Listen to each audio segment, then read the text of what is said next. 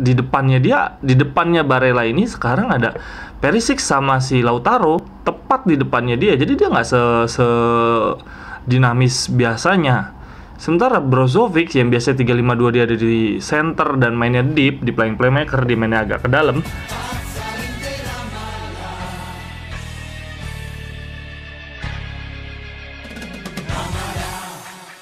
Halo teman-teman, ketemu lagi di Cerewetin Inter video yang gue buat untuk bahas klub favorit gue, Inter.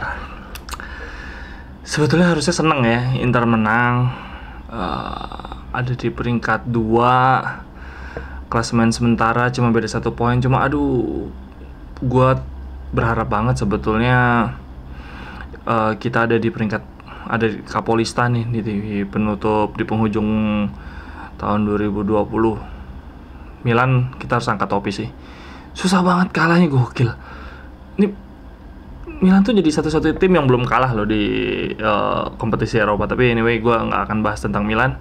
Milan akan gue bahas di video cerewetin seri A. Teman-teman bisa klik aja ya, cari aja di video di YouTube gue gue bahas ada cerewetin Inter khusus Inter kemudian ada cerewetin seri A.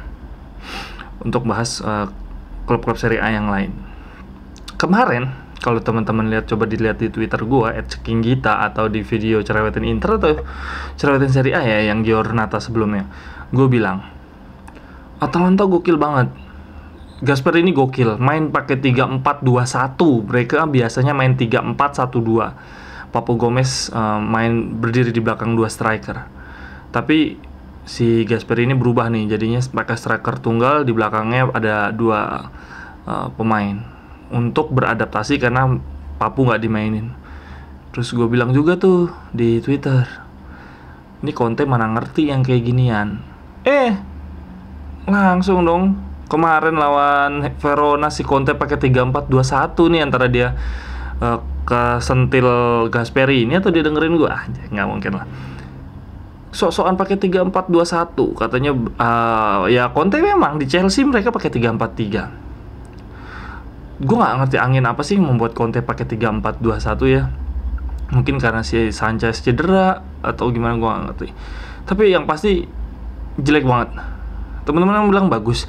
Barella yang biasa di 352 dinamis box to box sekarang kan di depannya dia di depannya Barella ini sekarang ada Perisic sama si Lautaro tepat di depannya dia. Jadi dia nggak se, se dinamis biasanya Sementara Brozovic yang biasa 352 dia ada di center dan mainnya deep di playing playmaker, di mainnya agak ke dalam, sekarang malah dipaksa dinamis. Jadi dua-duanya jadi nggak keluar uh, Barella sama Brozovic nggak keluar uh, potensi terbaiknya. Begitu juga Hakimi di sisi kanan. Biasanya kan dia wah naik turunnya nusuknya gila-gilaan. Tapi karena ada Perisic yang ada di sisi kanan 3421 dia juga jadinya mainnya terlalu ke dalam feeling gua kenapa Conte pakai 3421 dia pingin beli Papu Gomez dan De Paul. Dan tapi nggak beli striker lagi. Dengan pakai satu striker tunggal berarti kan Inter nggak butuh cadangan lagi nggak butuh backup Lukaku bisa pakai Lautaro. Lautaro bisa pakai striker tunggal. Sanchez juga bisa. Jadi dia pakai 3421 dengan harapan De Paul sama si Papu Gomez atau De Paul atau De, si Papu Gomez sama Sanchez bisa berdiri di belakang striker.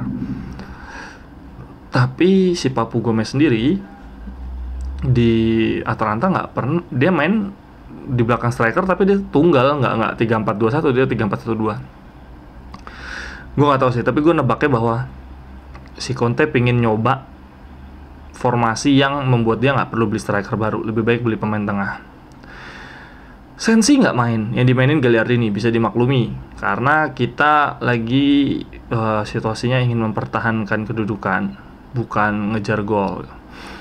Erikson nggak main uh, karena ngelahir, apa istrinya ngelahirin, tapi dia jadi bukti juga bahwa Erikson nggak kepake sama sekali. Dia udah ada di kasta paling bawah di uh, gelandang kita. Lebih-lebih lagi nih, ketika gue bikin video ini, PSG baru aja mecat pelatihnya ya si siapa Tuchel kayak nama kayak ini kamera ya. Dan e, ngerekrut Pochettino. Jadi Erikson ada kemungkinan ke PSG kalau dengan situasi pandemi gini kayaknya PSG lebih milih peminjaman deh ya. Minjem minjem tuker pin apa uh, tuker pinjem kita dikasih Paredes Paredes itu gelandang bertahan. Ya uh, gelandang bertahan energik ya gue nggak tahu deh Paredes buat apa. Paredes itu bagus di Inter kalau Inter main pakai tiga empat satu dua pakai Erikson Paredes itu tadi diincar Inter kalau Inter mau ngoptimalin uh, Erikson cuma gue nggak tahu deh jadinya ditukar pakai apa. Atau jangan-jangan balik ini Icardi. Oke terus apalagi gue nyatat beberapa uh, apalagi ya oh ya uh, backnya Inter main solid banget. Seperti biasa Skriniar udah mau sekarang udah ngegolin malah dia pemain paling konsisten uh, back Inter paling konsisten musim ini semenjak dia selesai covid. Dan semenjak ada dia main uh, Inter jadi susah banget kebobolan. Dia dan Bastoni lebih tepatnya ya. Kan di awal musim back kita tuh yang dimainin Danilo D'Ambrosio sama si ada suara motor lagi. Back kita yang dimainin Danilo sama Kolarov dan kebobolan mulu. Untungnya ya untung tanda kutip kita nggak main Liga Champion. Jadinya Danilo sama Kolarov akan dapat menit bermain sedikit nih. Kalau kita main Liga Champion kita nggak bisa deh ngandalin mereka jadi backup walaupun mereka back ya untuk walaupun cuma sekedar backup cuma Danilo ada Ambrosio sama Kolarov musim depan harus ganti. Kolarov sih bakal ganti.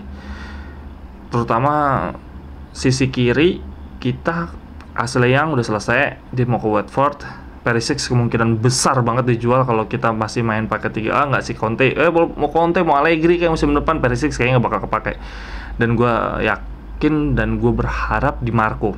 Kemarin di Marco sama Salcedo main bagus banget. Uh, di Marco bisa lah jadi backup uh, back kiri kita. Kemudian siapa lagi ya yang main bagus? Uh, Skriniar sama Lautaro ngegolin setelah sekian lama. Laut Skriniar kayaknya dua musim lalu terakhir ngegolin Lautaro kalau gue denger dari komentatornya ngomong Juli atau Maret ya dia terakhir kali ngegolin. Lama juga ya gue nggak nggak Laut Lautaro selama itu nggak ngegolin terus uh, aduh gue mau kasih cuplikan pertandingan cuma takut copyright dan ya ya udahlah ini juga gue cuman buat nyampein unek-unek. Ini loh gue pengen nunjukin Hakimi di menit 90 sama 93 gokil kebut yang satu. Yang satu itu salah satunya itu yang si oh ini inget dua-duanya tuh si Lukaku sampah. Yang satu Lukaku udah gawang kosong dia nggak nyampe cuman beda berapa inch. Yang kedua si Lukaku golnya dianulir karena dia narik baju. Ngapain coba narik baju? Padahal ya udah sih. Orang cuman kan apa namanya cuma sama-sama lari tanpa bola dan kemungkinan Lukaku juga punya speed bagus ngapain pakai narik-narik? Apalagi gue rasa itu nanti karena ini lagi jeda Christmas palingan ntar akan bahas ini ya. Kita akan bahas gue akan bahas akan cerewetin uh, bursa transfer di apa namanya di musim dingin.